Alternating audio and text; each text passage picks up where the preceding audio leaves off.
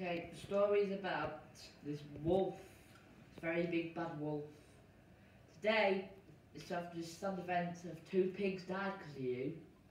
Making all this story up to this beautiful honour about you stealing sugar is not acceptable.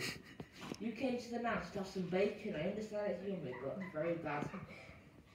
But he is very guilty indeed. Please put down your hammer.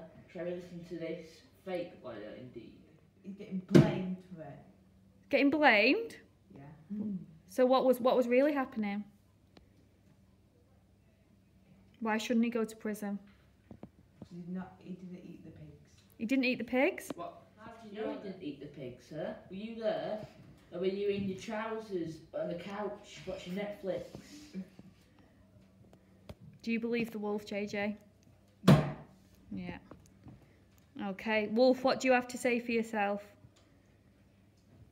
Uh, what should Do you, are you guilty or not guilty? Not guilty. Wolf guilty or not guilty? Guilty. Take him to prison. Take him away.